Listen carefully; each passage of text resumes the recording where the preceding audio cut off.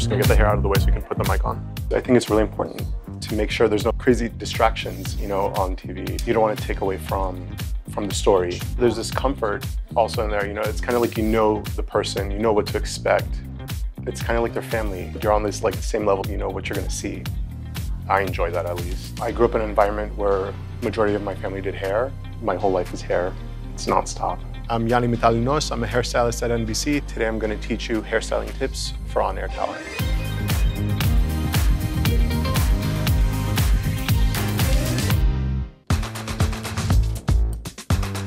This is our model RXC. We're going to be demonstrating how to do an updo. Her hair has been lived in a little bit, so I'm putting dry shampoo because it's a little greasy. So this is just going to take the shine away.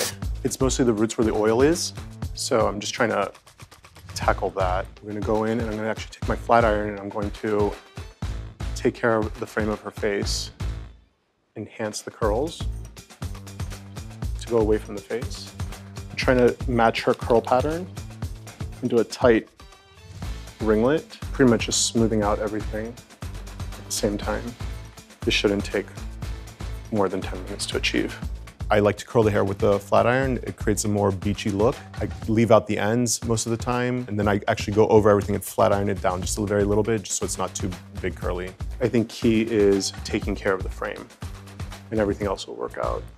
No one's gonna see the back.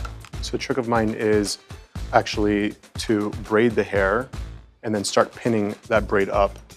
So I took that braid and I pinned it around to create kind of like a flower look in the back and I'm just pinning it to her head. And I'm gonna take a couple pieces just to create a little more drama. Once I'm happy with it, I'm gonna take my hairspray. I'll probably take a very strong hold hairspray and just spray it out of the face. So this is an updo that you can wear in any emergency situation, literally five minutes to do. We focused on cleaning up the hair in the face, making sure there's no frizz. And there we go, five minute updo. This is Carly. We're going to show you how to go about styling naturally curly hair in an updo style. What I would start with is sectioning. I'm going to use a more of a boar's bristle comb. I'm to section the front, try and avoid making extra frizz. And then I will be taking up more pieces as we go. So I put a hair bungee in her hair. It makes it a little easier and, and helps eliminate frizzing the hair up while you're putting it in the ponytail. Hair bungee works best on curly hair because it avoids frizzing out everything. You can really just brush everything up and then just go around with the hair bungee in a lot cleaner way than you would with a regular hair tie. I'm gonna take a couple bobby pins and just personalize it. I like to blend the top with the bangs a little bit. I wanna clean up the sides a little bit, so I'm gonna go in and spray my brush with hairspray and just smooth that out a little. Still leave some texture, not make it too flat. Now I'm gonna take a little bit of curl defining cream, massage it into your hands, and go in and twirl the hair. It's gonna eliminate uh, frizz. It doesn't have too much oil in it, so it's going to not make it so shiny. On TV, just shine, the shine is distracting. So it's really humid here in DC. This style will help you get your hair off your neck, kind of frame your face, and just be ready for the cameras on the field or in the studios. This is Erin. She will be demonstrating how to do a sleek, straight style. Put a little bit of blowout cream in her hair. Erin's wearing extensions, so automatically I know I cannot yank on the hair or create too much tension. I'm going to go in with the blow dryer first. Once the hair is completely smoothed out, I'm gonna go over it with a flat iron and create a bend at the end. I'm gonna take it to medium settings since she's wearing extensions as well. I don't want to fry it. Need to be a little more cautious with extensions. Not all extensions are 100% human. They mix in a little bit synthetic. It's really hard to tell. So I would always recommend to put the heat on a lower setting. I've seen hair go from super healthy to fried over six months, and that is from constantly putting heat on it, getting new extensions every six months, let's say. So it's, it's kind of, it, it is protecting your actual hair. I actually like to take a full section like this go over, but I do not clamp it as hard as you would imagine. Continue doing that, and I go one section up like this, and I go over it again. And I'm gonna do that all the way going around. I'm using a, I think they're called carbon combs, so they don't melt with the flat iron. It's a lot hotter than it looks, the hair, so it makes sure it's not pure plastic. The comb will melt. Extensions are gonna create more volume and more body and length. A little bit of fullness goes a long way. You can attach extensions like to updos, you can do the braids, there's different types of extensions. It all depends on what you can handle and how often you're gonna be getting your hair taken care of. I know anchors, reporters, they, they have a really hard time trying to get to the salon. So I recommend clip-in extensions. They're easy go-to, you take them out at the end of the day.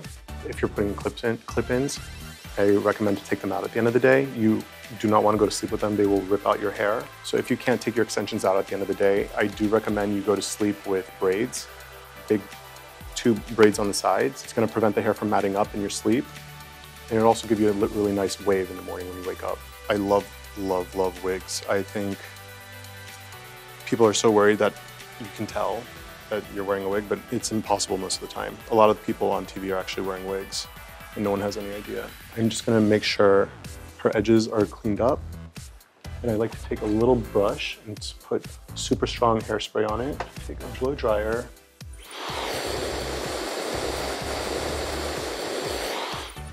So there's another option that we can do. A lot of the anchors like to put their hair behind the ear or behind the shoulder on one side. It shows off the neck. I would focus on this side because she has more activity right here with the dress. I think extensions would be a really good option because some people just, you know, if you look over here and see that gap right there, that's one thing you do not want on TV.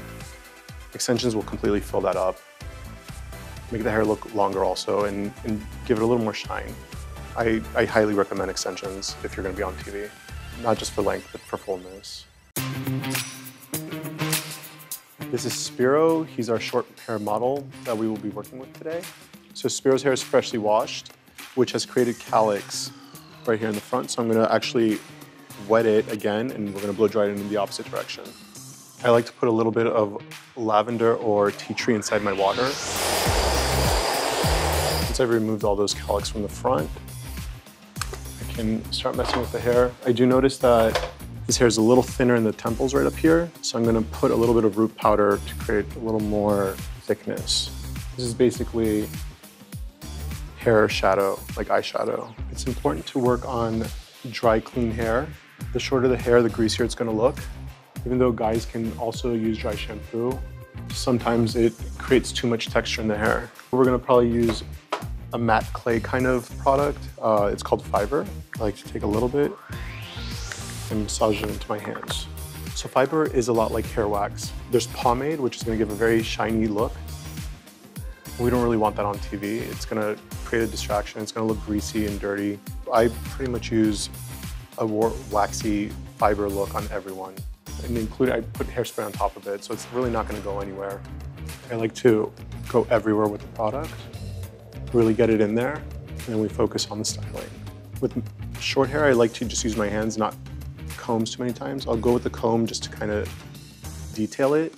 Once I'm done with the product, I like to take a hairspray and just finish the hair off. I notice in the front that there's all these little flyaways that can't really get controlled with hairspray. I like to take a hair mascara, a gel actually, and go in there and just kind of focus on those little hairs. It's a little more polished. This is what I would do on a short hairstyle, especially with someone who has so many cowlicks. Just kind of work with them, mess with their hair, see what works best on them. Always, in, you know, feel free to try something new, something that they've never tried out. This is Chrissy. We're going to be demonstrating a little more exaggerated look with curls and teasing. I'm going to start by smoothing out her hair with the brush, getting any knots out. So I'm first going to put a heat protectant in her hair. Since we're going to be putting so much heat, it's really important to protect the hair. I'm going to be applying Velcro rollers to achieve a more polished look.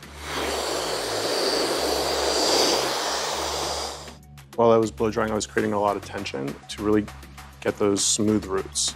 This is a Velcro roller. They also come in different shapes and sizes, metal or plastic. The metal is gonna help keep the hair heated. Plastic is gonna do just as well. While the hair is still hot, I go in immediately with the roller, bring it all the way to the end and roll back. I like to use two pins. There's uh, different size clips for different situations. A pin clip would obviously help pin the hair down. You can use it in, in Velcro rollers and any type of roller. I also take a very light hairspray and then I repeat on the other side. There's some days that we literally have five, 10 minutes to achieve a look.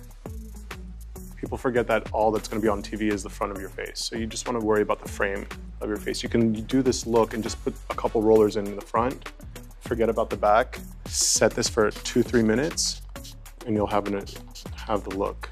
Bring the hair forward like that.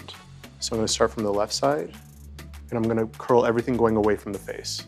This is my go-to curling iron. Curling irons come in all different shapes and sizes. This is about an inch and a half, two inches. I like to put my hand cover the ears and the skin. I'd rather my hand get burnt before the client's ear or scalp gets burned. I also like to recommend do not brush the hair out until you're done with everything. Once you're about a quarter way done, I would recommend to take a little bit of hairspray, some light hold, and freeze it even more. Again, do not brush out till the end. Once I've reached the middle of the back of her head, I'm going to focus on going on the opposite side the other way, coming back again. So we don't want to go left, left, left, left, because nothing will balance. So I'm starting again, just like we did on the left side. I think it's so important to communicate. We, we do not know how we're making them feel at the end of the day. I think it's so important to ask if, if you know, they could feel the heat, if the tension is too much, you know, some people are more tender-headed than others. So it's, it's important to work with the person. I know with Hallie what not to do. You know, I know not to pull and not to, not to move her around too much. Because also there's a makeup artist working at the same time. So while that person's trying to put eyeliner on, you need to know you cannot yank the head. The rollers are going to create more of a polished look. They're going to give more volume up at the roots. At the same time, prevent the hair from falling in the face where the makeup artist needs to work. So you see that body that created right there? I'm just gonna go over it and focus on the ends. I think it's really important to be patient. With the reporter, we also have to understand they're trying to get onto live TV and they have to be planning their show or talking to whoever it is. So a blow dryer running in the background isn't ideal for them. So being patient with them, understanding that you have to pause every couple minutes you know, is, is part of the game. Now we're done with the curls. I'm gonna start the teasing. I like to start from the bottom of the nape and work my way all the way up. It's gonna look a little messy for a couple minutes, but just trust the process. It, it gives that exaggerated look, fuller hair. Not everyone's into it, but it looks better on TV. Don't worry about over teasing. You can always brush it down. You just can't make it bigger at the end. I also like to use a comb to tease. A lot of people like to use teasing brushes. I think combs are a little more detailed. So even though someone like Christy, who doesn't need extensions for fullness, she can always benefit from for length. You will want to smooth everything out, but again, focusing on the frame is what's key. I'm using a very light hold hairspray again, but I do notice a little bit of flyaways. So my little trick is to take my curling iron on a low setting and go over the top very gently and smooth out those flyaways. Because that's the one thing you're gonna focus on when you're watching someone on TV is the little things like the flyaways. You can always spray your brush with some hairspray and go over the hair. And it's gonna get all those flyaways down. This is a more polished look. For more, visit NBCUacademy.com. Thank you for watching.